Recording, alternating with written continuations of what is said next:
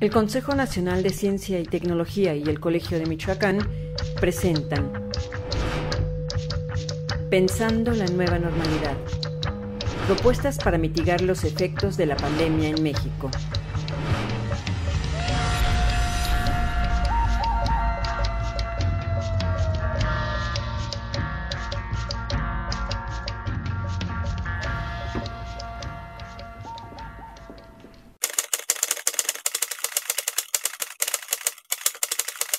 Hola, les habla Marta Chávez Torres, soy profesora del Centro de Estudios de Geografía Humana del Colegio de Michoacán. Les voy a exponer muy brevemente el tema Ley de Amnistía y Coronavirus en prisiones michoacanas. En Michoacán tenemos 5.268 personas privadas de la libertad en 11 centros penitenciarios. De esto, como en el resto del país, el 95% son hombres y el 5% son mujeres. Eh, tenemos 4.641 personas con delitos del fuero común. ¿Qué pueden hacer estas personas que están en prisión si se encuentran entre muros, rejas, cerrojos y candados? ¿Cómo creen ustedes que se encuentran y qué sienten estas personas que están en prisión? ¿Y qué se está haciendo al respecto? Para empezar, eh, se dio la suspensión de visitas. Esta es una situación grave, gravísima para la población penitenciaria por, en doble sentido. Primero, porque sus familiares que están afuera no pueden verles y los que están adentro no pueden tampoco saber y tener noticias de sus familiares. Estas, estas eh, personas que están adentro muchas veces envían recursos económicos de lo que trabajan adentro para sus familiares o sus familiares que están afuera les dan dinero, les llevan comida, les ayudan a vender las manualidades que eh, elaboran adentro y pues al suspender las, las visitas, eh, el flujo de dinero al interior que lo necesitan para todo es muy reducido, casi nulo en estos momentos. También, ¿qué pasa? Pese a que están adentro del, mismo centro penitenciario, no les permiten ver a sus parejas.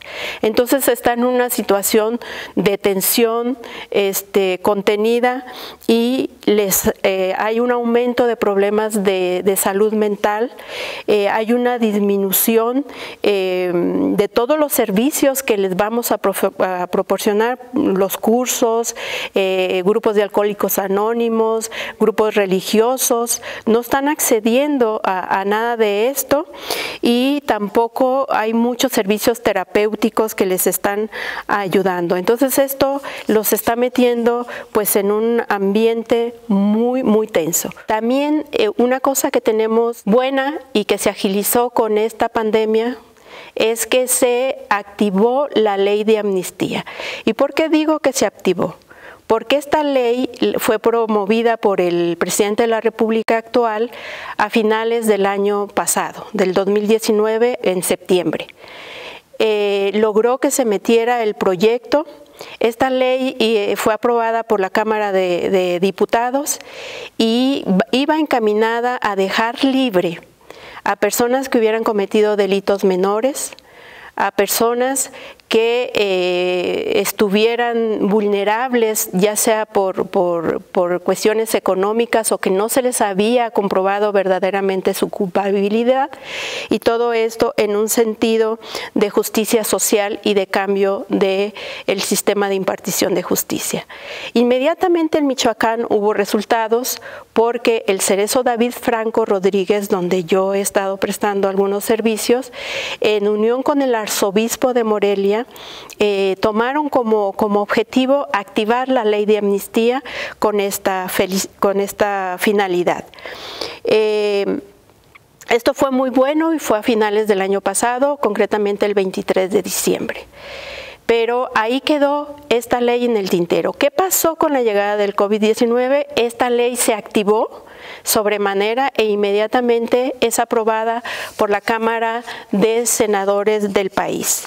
Y eh, para beneficiar o poner en libertad a personas que ayudara a que hubiera menos población en los, en los cerezos y también que hubiera una contaminación este, por la enfermedad mucho más fuerte. Entonces, el, 29, el 20 de abril es aprobada por la Cámara y el 22 de abril es aprobada por este, en el diario oficial de la Federación. Este acto humanitario este, ahora se abre a lo que anteriormente habían considerado como población beneficiada a los adultos mayores. Esto, eh, esto fue bastante bueno y a todas aquellas personas que tuvieron eh, eh, que tuvieran enfermedades degenerativas o que fueran muy pobres, que hubieran cometido mm, este, delitos muy leves, como lo decía anteriormente, que fueran inocentes, excluidos, discriminados y vulnerables. Pero aquí vienen los peros. No todas las personas como pueden beneficiarse de, este, eh, de esta ley pese a que hayan cometido delitos menores. ¿Qué es lo que pasa? Deben solicitarla a ellos deben solicitar eh, que ser beneficiados por esta ley y deben contar con un abogado defensor que meta la solicitud y ustedes saben lo que eso implica. Aparte, como les había yo dicho anteriormente, estas personas no deben estar procesadas, no deben estar esperando sentencia, ya deben estar sentenciados, por lo cual una tercera parte de la población se queda fuera de este beneficio. Y aparte, el gobierno federal y el gobierno estatal deben establecer una comisión para que vaya evaluando eh, cada expediente de, los este, posibles beneficiados, porque unos fueron sentenciados con el sistema penitenciario antiguo, que era el, culposo, o sea, eres culpable hasta que demuestre lo contrario, y otros fueron sentenciados con el, con el este, sistema actual, que es acusatorio oral. Entonces tienen que hacer estas diferenciaciones, aparte los expedientes deben estar completamente eh, eh, integrados, completos, y a algunos les falta faltan muchas cosas y finalmente deben tener las condiciones eh, socioeconómicas para poder reintegrarse a la sociedad. Una vez reunido todo esto, todavía están sujetos a una decisión de un juez. Entonces, como estamos de un juez de control, como vemos, no es tan fácil tener ser beneficiados por esta ley menos que sea muy rápido. Pese a que en Michoacán se hicieron cálculos de, de que 4.641 personas podrían beneficiarse con esta ley, ¿para cuándo? ¿Quiénes van a lograr pasar todo este proceso?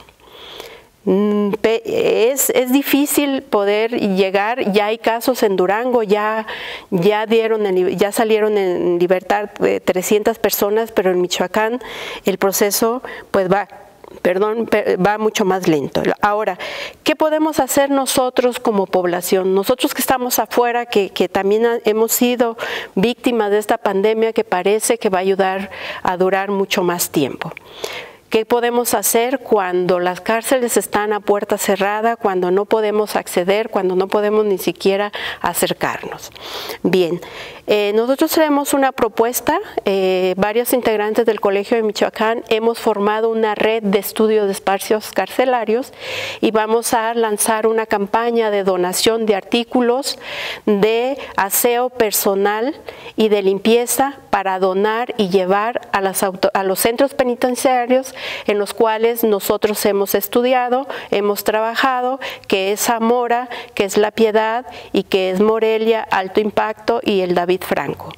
Eh, estos artículos de limpieza y de aseo personal estamos invitándolos a que contribuyan y que donen agua, gel, jabón, champú, papel sanitario, todo lo que ustedes vean que es útil para cloro, este, para que se mantengan limpias las instalaciones, porque ellos no lo pueden comprar, sus familiares no se los pueden llevar y estos centros no tienen recurso para ello.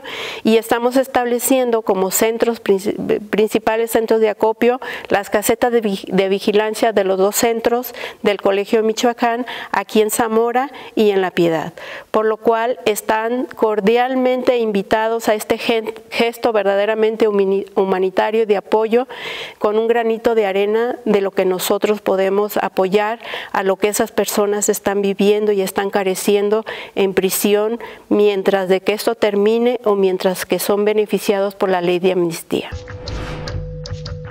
Pensando la nueva normalidad. Propuestas para mitigar los efectos de la pandemia en México.